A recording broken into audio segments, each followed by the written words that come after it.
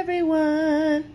Today I'm going to review some syrup that is called Amish Wedding. It's a butter pecan flavored syrup. And then from the same company brand, Amish Wedding, strawberry syrup.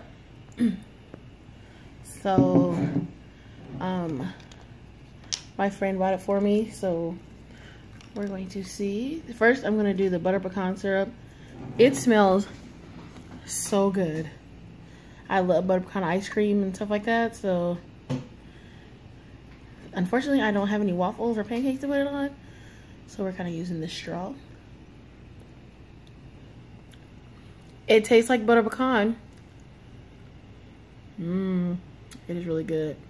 I bet it would be so delicious on some waffles. Oh my Oh my gosh, that's so good.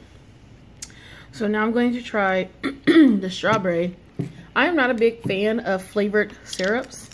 I'm old-fashioned, regular. I don't even like butter syrup. I just like regular, original syrup. So this is a big step for me to try flavored syrup. So here's the strawberry one.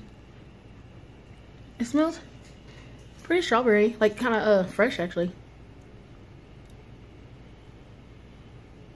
This is probably not my favorite. It does have like the strawberries in them.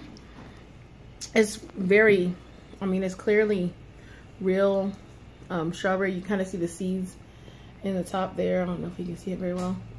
But, I mean, it has a good aftertaste, but not a good taste initially. But that's just me. Like I said, try for yourself. Um, again, this is Amish Wedding butter pecan and Amish wedding. Amish wedding. Strawberry. Like and share. Thank you.